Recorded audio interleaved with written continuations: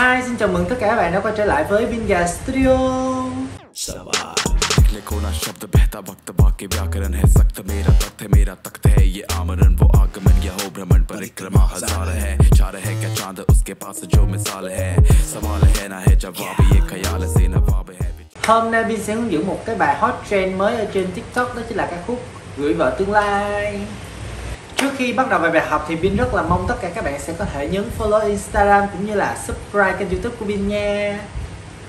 Nhớ nhấn vào cái chuông này để mỗi khi mà Bin có video mới thì tất cả các bạn sẽ là người xem đầu tiên.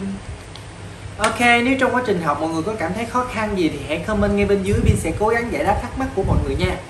Bây giờ chúng ta sẽ cùng bắt đầu học ngay thôi. Ok, đầu tiên mình sẽ đưa hai tay như thế này. Đó, cứ đẩy qua đẩy tới vậy thôi, rất là dễ. Sau đó mình sẽ lấy hai phần tay của mình Hất cái phần hông của mình qua bên phải Hất và đẩy phần tay lên. Mọi người có thể búng tay hoặc là thả tim, tùy ý nha. Rồi, mình sẽ đếm lại. Hai đi 5, 6, 7, 8 1 và 2 Sau đó mình sẽ đặt tay lên 3 và 4 Để tay mở bên phải qua kẹp xuống.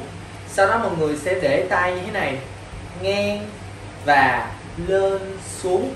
Rồi nhìn nhìn một lần nữa. Ok, để lại nha. Đặt đặt úp Mở, qua, kéo, về lật úp nhìn qua.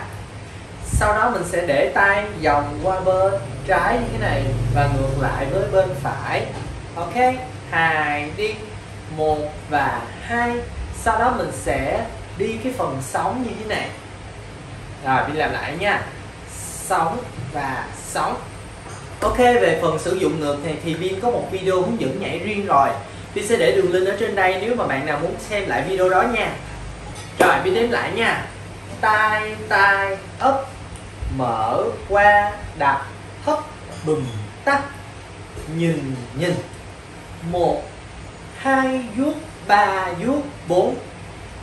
Sau đó mình sẽ đặt tay giống như đang rửa tay vậy đó, thì cái tay bên phải của mình sẽ là upper trên trước và ngược lại. Sau đó mình sẽ dằn xuống như thế này. Rồi, phần hông của mình sẽ đánh qua một, hai, cuộn và ba. Sau đó mình sẽ để lên tay, kéo dòng xuống dưới và dằn. Ok, để lại nha. Hai đi một. Hai dòng ba, dằn bình minh ok. Tới chữ bình minh là mình sẽ đặt cái tay lên như thế này. Ok, bây giờ mình sẽ ghép thử với tốc độ chậm nha. Năm, sáu. Một, hai, ba và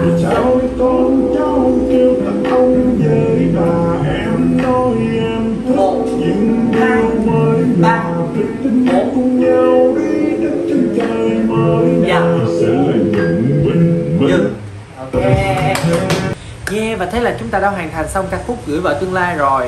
Bài này siêu dễ luôn, cho nên là Bin rất là mong mọi người sẽ có thể hoàn thành được bài này nha.